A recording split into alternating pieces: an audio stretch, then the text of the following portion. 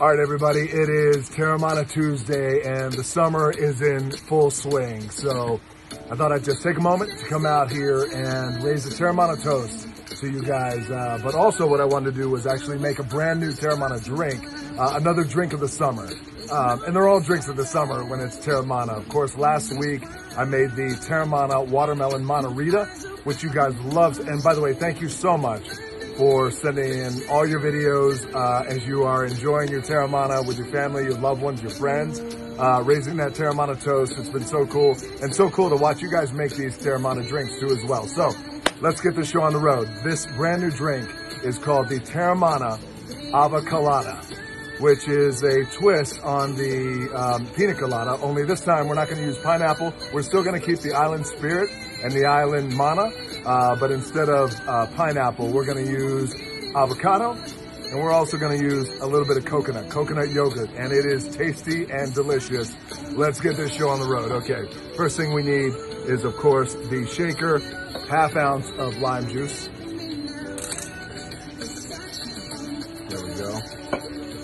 Again, thank you guys again for sending in all your videos. Always so gratifying. It's the most gratifying part just to see you guys enjoying it. Uh, half ounce of the magic, the blue agave. Make sure you're using blue agave. Um, half ounce of blue agave. There we go. Next will be half of an avocado. Now, I love avocado, so I'm going to go a little bit more, but there's a big chunk and another big chunk. Next, we'll take the muddler, muddle it up. If you don't have a muddler, we'll just find something you can kind of smash it up. Good jump there. All right, we're gonna muddle this thing up. Muddling is done. Next, we're gonna go with the coconut yogurt. So I go with Chobani. We're gonna go two tablespoons of Chobani.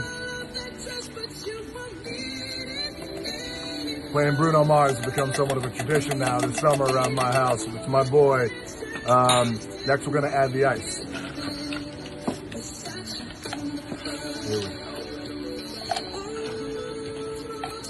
Last but not least, most importantly, we're gonna add the magic. That magic is, of course, the Teremana Blanco uh, tequila. We have Reposado, which works very well too as well.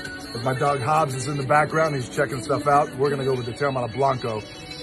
And an old bartender trick is you want to save your spirit um, for very last, for the very last part if you're mixing a drink. Why? Because if you screw something up here, well, you can just throw it away and you're not wasting your magic. This is not screwed up. The magic is ready to go. A couple of ounces. I think it's a couple of ounces. I failed math, so I have a tendency to overpour. And again, I've never been drunk. I've just been overserved. Here we go. Shake it up. So this drink of the summer, tasty and delicious. Tasty and delicious was my nickname in college. Always room for the cheesy joke. Here we go. Before I pour this magic, I want to thank uh, our Teremana Ohana, our Mana Ohana bartender uh, we have Mana Ohana bartenders all across the country. I want to thank you, Jesse Peterson, for this great drink. Here we go. Ladies and gentlemen, the Teremana Ava Colada. A bit more ice. I raise this Teremana toast to all of you guys. Uh, this one is to you, to your loved ones, to your family. Have a great summer, and thank you for enjoying your Teremana. Most importantly, stay healthy, my friends, and enjoy.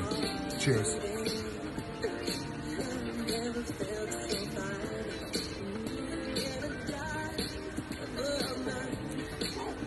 That is good. That is good.